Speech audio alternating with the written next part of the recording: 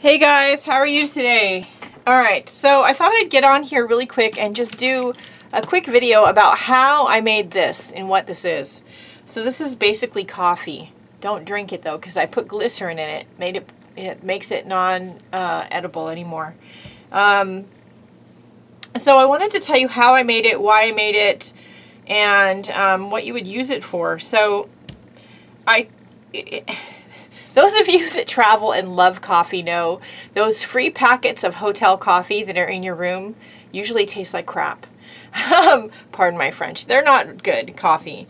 Um, so I don't usually drink them unless I'm desperate, but I do bring that coffee home and I will take two of those packets that are intended to make two pots of coffee and I put all the grounds into a saucepan with a half a pot of coffee's worth of water and boil it for about 20 minutes or so until the water is nice and dark like this.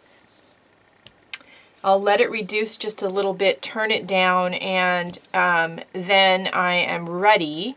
And I strain it into some kind of a big bottle like this or a sprayer. Um, I happen to have this out in the garage. This is actually, I think, for cake decorating, but it was out in my garage in my of stuff.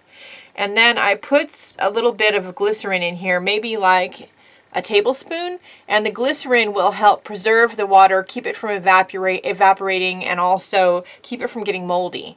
Um, and then what do you do with it? Why do you make it? Well, of course, it's great for the obvious, which is staining and um, coffee dyeing paper. You can also paint with it. Um, so I'm going to put a little bit here. Now, depending on how much you let it reduce, will make a difference in how dark, dark your coffee stain is. So if you want it really dark, let it reduce down, turn it down to a simmer and let it reduce by like as much as half. Um, I didn't know if I wanted mine that dark, so I didn't let it reduce that long.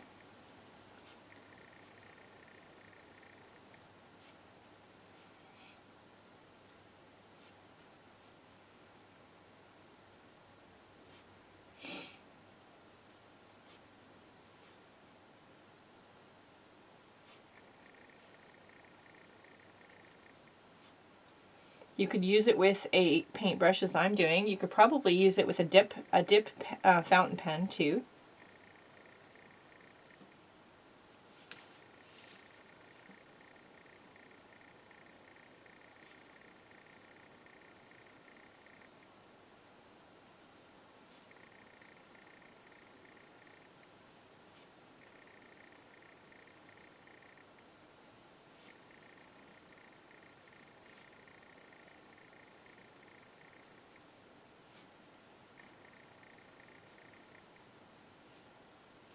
And you get this interesting golden brown color of essentially what's ink.